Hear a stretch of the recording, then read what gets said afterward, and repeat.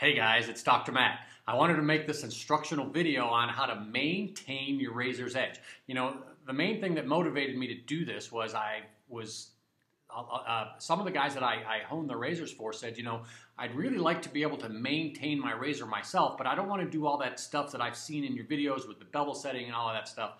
And I said, look, I'm to make a video. I'm to tell you how to do this. What I've done is I've narrowed it down to two stones on how to maintain your razor. You'll be able to keep great edges for years. I'm not talking about bevel setting.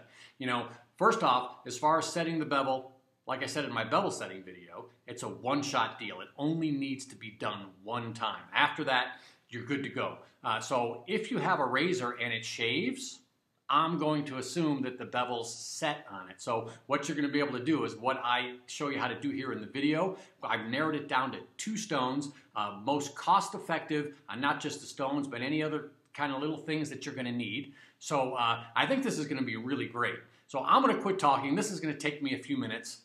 I'll see you on the backside. All right, well, let's get started. What we're going to do is I'm going to take you through maintaining your razor, and we're going to do it with two stones. That's all that I use when I maintain my razors, two stones. First stone we're gonna start with is Shapton, 8K.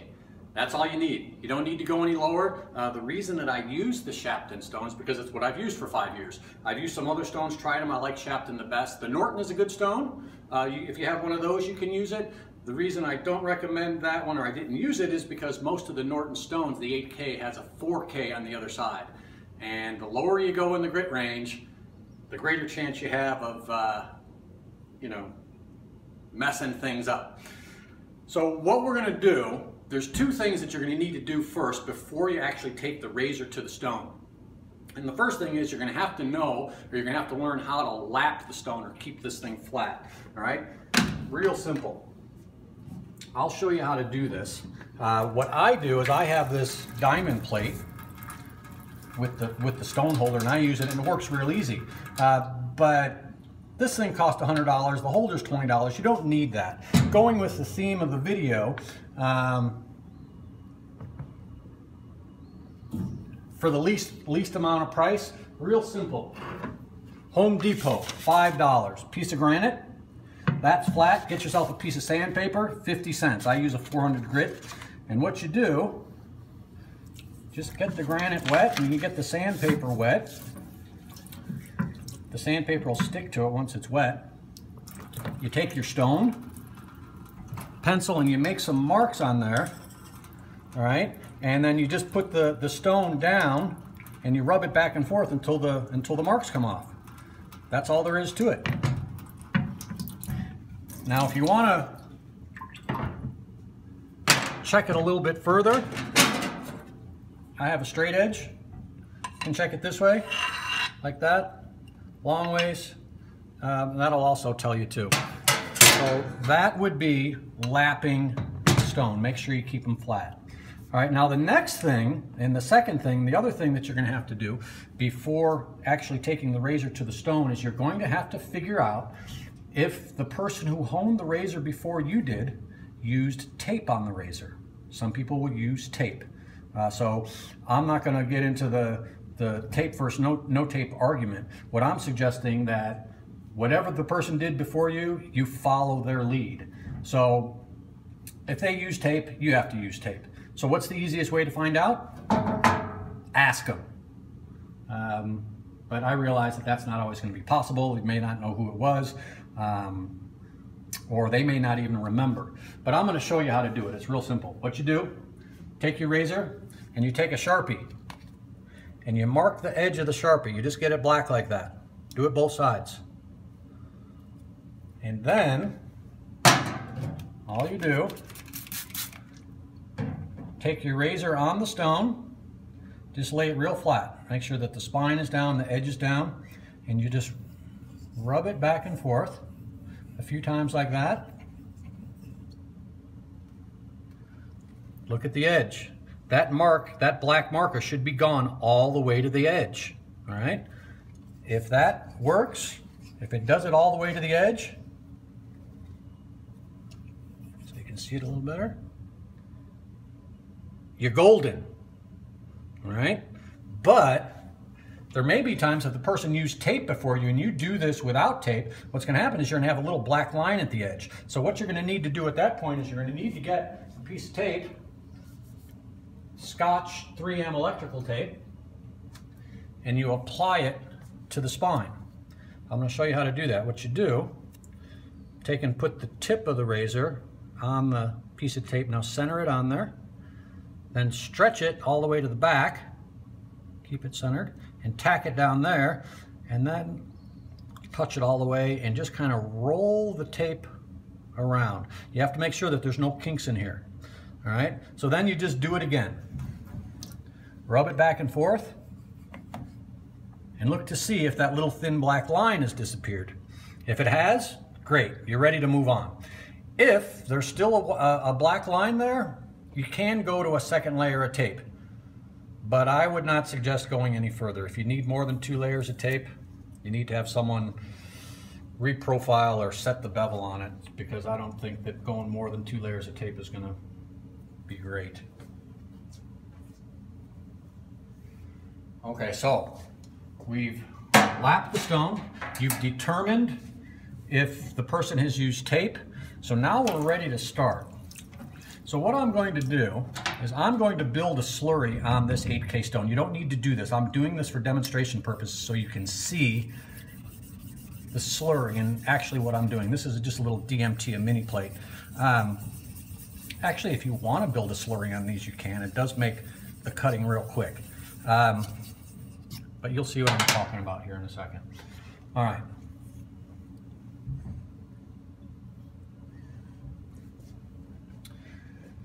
So, no tape. What you want to do, first off, is I would suggest that what you do here is you kill the edge of the razor. I have a tomato here to, to demonstrate the edge. This, very sharp, okay? So what we're gonna do now is we're gonna kill the edge. Lightly drag that edge across the corner of the stone. Lightly. That will kill the edge. Nothing left. All right, two reasons. If there's any toothiness on there, but also I like to kill the edge because then I know when I brought it back on the stone. So what I'm gonna do, when you do this, first off, lay the razor flat. The angle is determined by the thickness of the spine and the width of the blade, so you don't need to try and hold it up or anything like that. You just lay it flat, it's real simple. There's a few different kinds of strokes you can do. I'm gonna demonstrate the three different ones because I use them all. Uh, first one, half strokes. I consider this to be the most aggressive, just back and forth. I'm applying a little bit of pressure here, and you can see right away that's turning black. That's why I wanted to put the slurry on there. And I'm pitching the, the razor different angles just to kind of smooth out those, the scratch marks. Go back the other way. If you do half strokes, just make sure you kind of do the same amount on both sides. All right, next, circles. Real simple. Just do circles people think that circles have some magical something to them. Circles are just all about math. You do a circle, say you do approximately a one inch circle and you do a series of 20 of those circles down the length of the stone, for every circle you do, that edge is moving approximately three inches, right? If you do 20 of those circles down the stone, you've just moved that edge 60 inches. So you've taken an eight inch stone and you turned it into 60 inches. Pretty cool trick, huh fellas?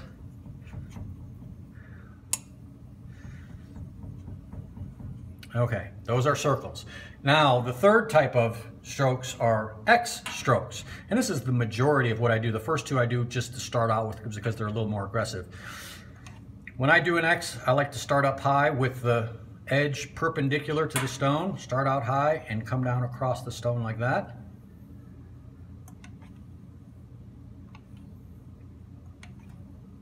Make sure you keep the razor flat. You don't need much pressure. Actually, I start out with a little more pressure and on lighter pressure. And what you're going to feel is when you first start out doing it, you're going to feel there's a little bit of resistance. As you go, the resistance breaks. That's what you're feeling about. The stone will not talk to you. All these years and thousands of times I've done it, the stone's never whispered a word. You can feel it. All right, also what I want to show you is when, when you, you know that your edge is right, watch the slurry. You're going to want to see when it squeegees, it should be real clean behind it and a real nice push in the water head. They call that undercut, that the edge is scooping up underneath the water. You know your edge is good. If you do this and you see a line, you know there's something on the edge there. This you can tell is nice and flat. Okay. That's it on that. Let me take and rinse this off and finish. Get some water on there. All right, this, you don't need slurry on, on, on, these, on the Shapton stones. I just did that for demonstration. You can do this at your bench. I'm just doing it on the, at the sink because it's easier for demonstration.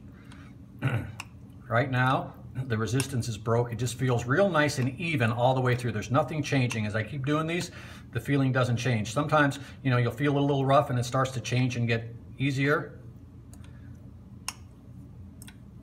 So you keep going until it doesn't change.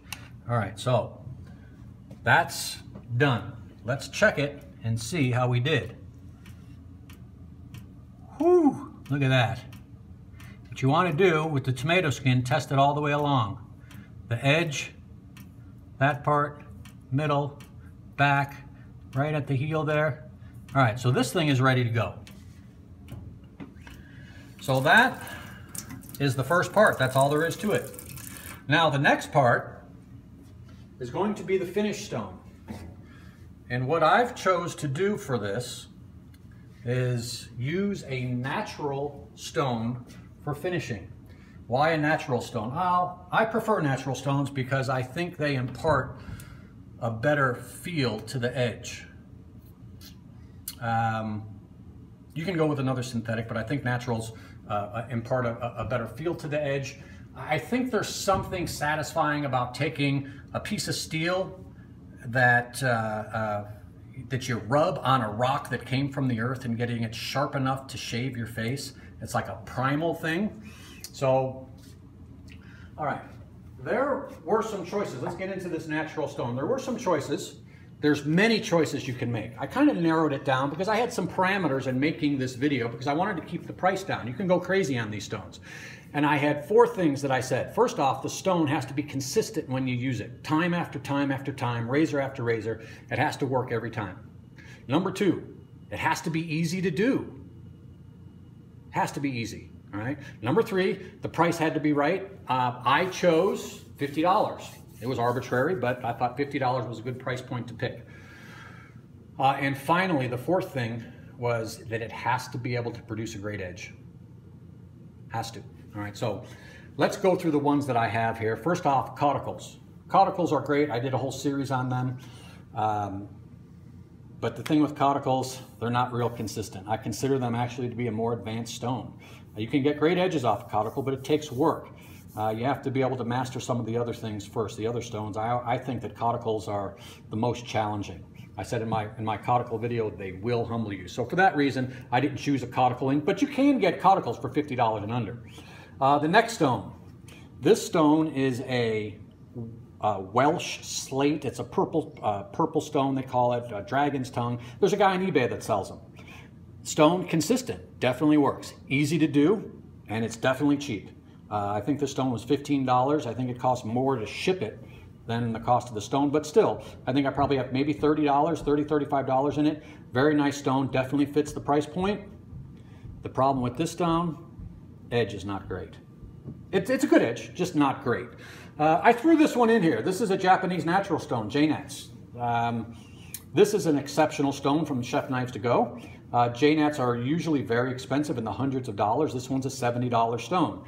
It uh, uh, um, is close to the price point.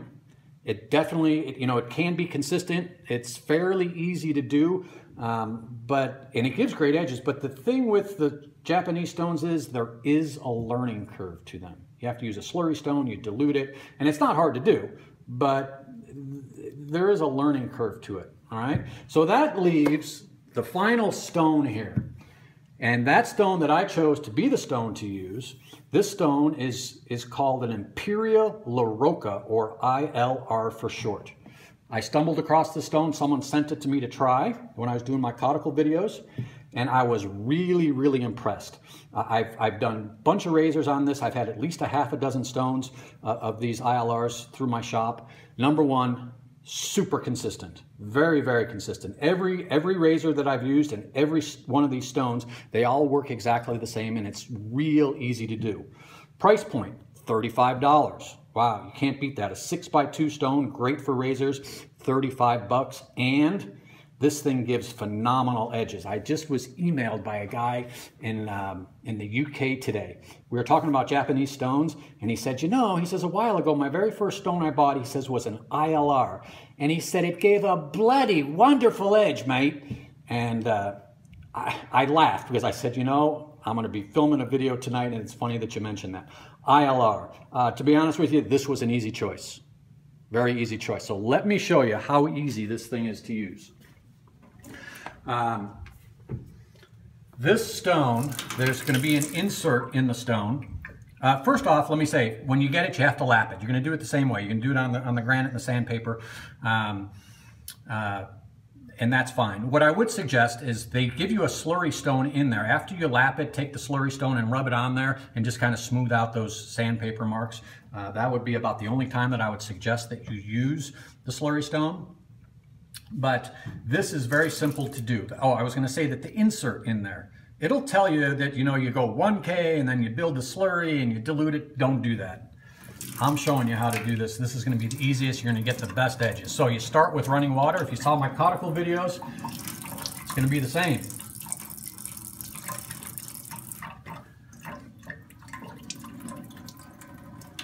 Fairly thin stream of water.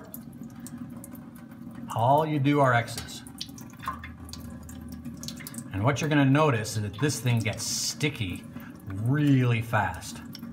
I've had it finish off a, a, a, razor in less than 10 passes.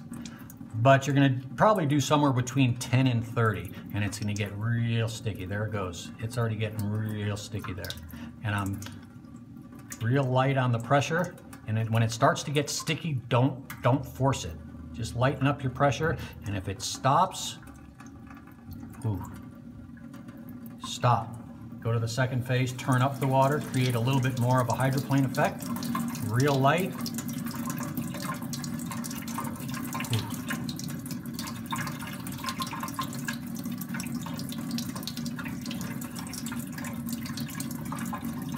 That's it. Now, you can finish right there. But I know there's some of you that, oh, I got to go further. That couldn't have done it. I'm going to take it further.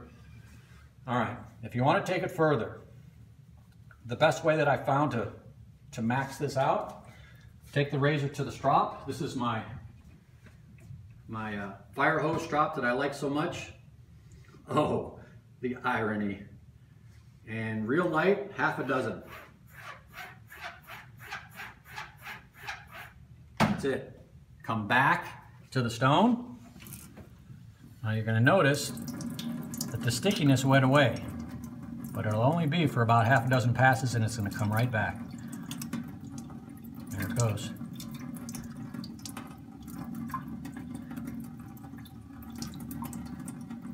Usually within 10 you're done. I'm not slowing it down, it just gets that sticky. Turn up the water once more, real light.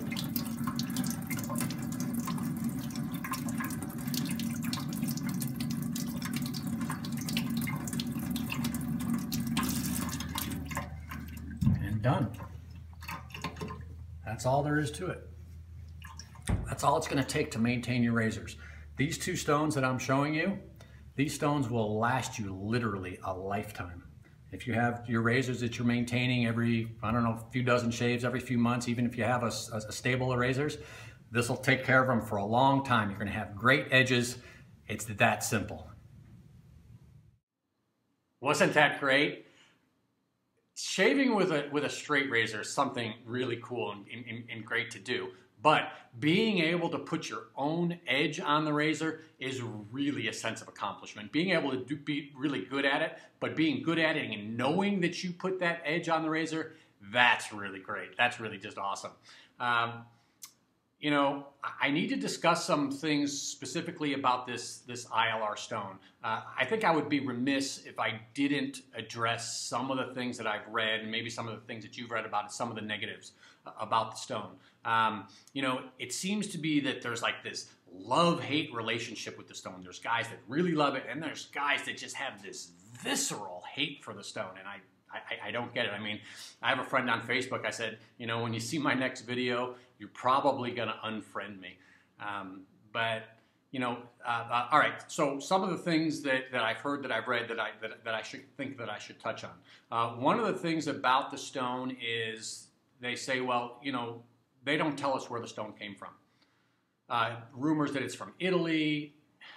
You know, I, I talked to the guy that sells these stones, and he said that you know he doesn't want to tell because I you know, someone else goes in there and, and stakes his claim or whatever. I can respect that. I mean, to me, that doesn't really bother me. I really don't care where it came from. You know, it works good, good price point. I'm happy with it. Um, second thing, uh, I've heard that there are toxic inclusions in the stone. That means there's stuff buried within that stone that if you run your razor over it, it could uh, ruin the edge. Well, I've never seen any of these things in any of the stones that I've had. Um,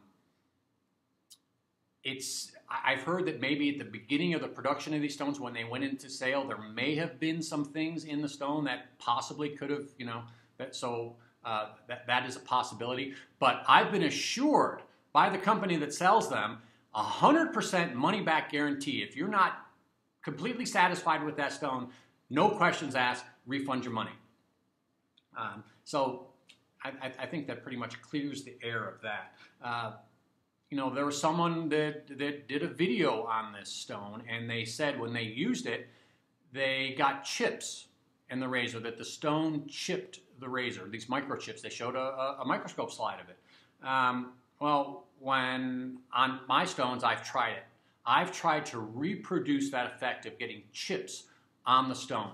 And um, I haven't been able to do it. I tried everything. I tried slurry. I tried no slurry. I was actually fairly pretty rough with it. In fact, I went to the stone totally dry. I took and ran the razor over dry for 10 minutes, back and forth, back and forth, back and forth.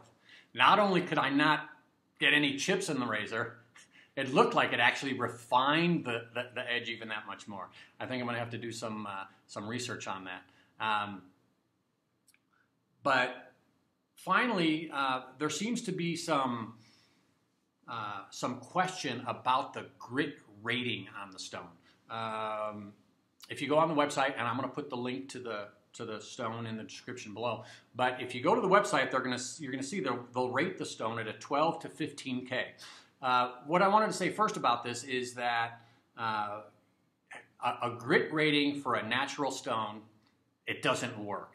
Okay, grit ratings are made for synthetic stones. Natural stones, there's too many different things going on in there to give it a grit rating. But but I understand why they did it because people want to, you know, they, they want to know about where the stone is and that. So so they so they gave it 12 to 15. I don't know how they came up with that. Uh, but there's people say, well, no, that's a six grid it's, or 6,000, it's 8,000. Well, I was up late at night playing with my near 1,000 power microscope, and this is what I came up with. Check it out. What I wanted to do was try and figure out, or at least get a better idea of what really we could kind of come up with a grit rating. So what I did is I took a razor and I took it all the way to a quarter micron spray. So this is what it looks like. This is a super refined, I mean, that's like, you know, quarter micron, that's, that's really, really fine. So you can see here what the edge looks like. That's really fine. So then what I did is I took that razor and I took it to an 8K.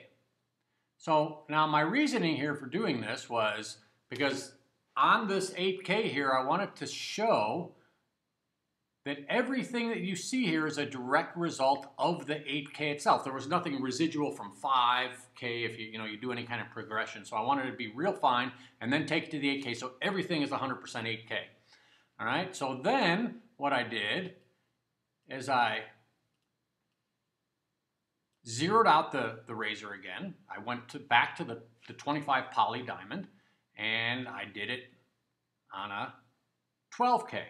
All right, so 12K is that particular picture is of the Nano at 12K Superstone.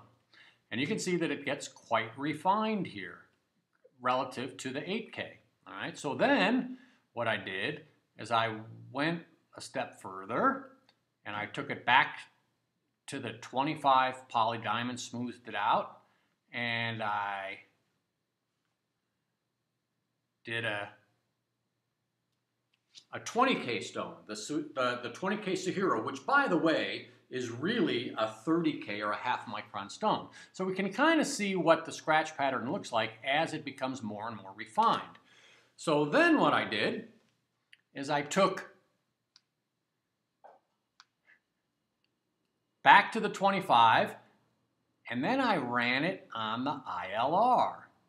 All right, so now this is the ILR. All right, so where does it fall? Well, let's take it and compare it to the 8K. Well, if you look at the edge of the 8 versus the, I, the ILR, definitely the ILR is finer than an 8. So we know that it's at least an 8K. All right? Let's take and compare it to the 12K. Well, as we compare it to the 12K, if you look here, the 12K versus the ILR, um, it's at least, the ILR is at least a 12K, okay? It's at least a 12, 12K. I, I think that's pretty clear. I think it's a little bit finer than the 12K. But just for the heck of it, let's take and compare it side by side with the 20K or the half micron. Let's put these right next to each other. What do you see? Well, I don't know. Looks pretty close to me. So when they rated this stone at a 12 to 15K, I, not only were they close, I think they underestimated it. I think it's at least a 15, if not closer to a 20. All right. Now these pictures were taken on a uh, on a ZY razor. It's a Chinese razor. It's not you know nothing great. But what I wanted to show you is what I did. I took a uh, one of my fillies and I did the ILR on the filly. Now look at that. Look how refined that is. That's really pretty awesome. So, you know, this, this ILR can definitely give a refined edge. All right, now I know I just threw a whole bunch of slides up there. Let me throw this up there. And what you can do on this if you want it's kind of all of them together. If you want to hit your pause button, you can stare at all of those together. See how you do with that. Wasn't that great? Okay, so like I had already mentioned, I'm going to put the link down below for the ILR stone, where to purchase that. Uh, also, I'll put a link for my Chef Knives to Go webpage. You can get the Shapton 8K along with other stuff that you've seen in the video. Um, as always, any questions? Email me, drmatt357 at hotmail.com. Don't forget to like the video and subscribe. Enjoy your shave. Have a great rest of the day. We'll see you soon.